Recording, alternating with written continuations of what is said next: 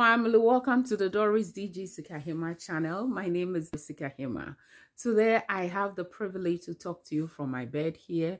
I have a message for you.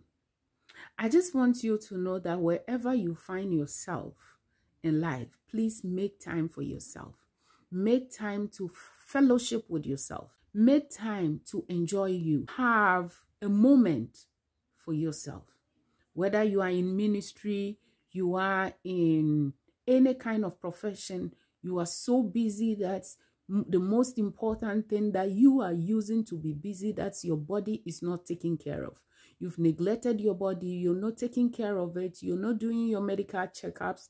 Even if you have a vehicle, you take the vehicle to the doctor or to the me to the mechanic for maintenance. Today, I just want you to know that your body needs to be serviced. It needs to be maintained. It needs to be lubricated. And the joints has to exercise. So many things in our body needs to be detoxified. You need to detoxify your bowels. You need to detoxify your liver. You need to cleanse the whole body. And you need to know your levels, your blood sugar, your hemoglobin A1C, which determines sugar utilization in the body is being processed. So I want you to pause and book appointment with your doctor and go for a checkup.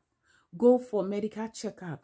Go for a medical checkup, physical checkup, dental checkup, eye checkup, every part of your body that you think needs to be checked.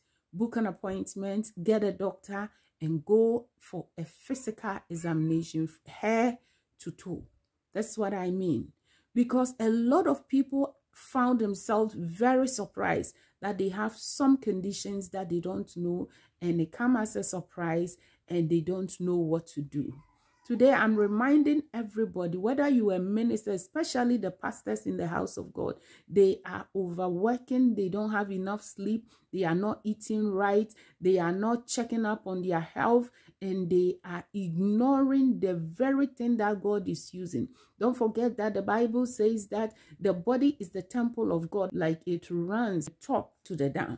So if you are a doctor or whatever, even doctors are getting cardiac arrest, they're getting so many complications because they're taking care of other people and they've neglected themselves. They're not taking care of themselves. They're not hydrating well. That's not drinking enough fluids or water. They're not getting enough diet. They just buy food from anywhere.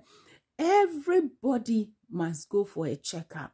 Don't ignore the knee pain. Don't ignore the uh, loose stools or constipation. Don't ignore your loss of appetite. Don't ignore the color changes in your skin. Don't ignore your eyesight getting blurred. Don't ignore all those things.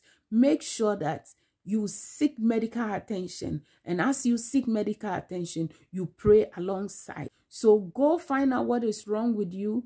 Let the doctors give you diagnosis and then based on the diagnosis, pray. Pastors, you need rest around the world. People are dying. It's been a big topic on the social media recently. Please, let's take time to see our doctors. Let's take time to have time for ourselves and to rejuvenate. Make time to fellowship with yourself. Make time to listen to yourself. Know yourself. Know your body. Don't let it just give up one day. I love you. If you're new on the platform, please kindly subscribe, like it, share, and comment. And this is the Doris DG Sikahemaa channel, bringing you information to make wise, informed decisions. I love you, but remember God loves you first. Don't make a decision without involving him. God bless you. Thank you for joining the family.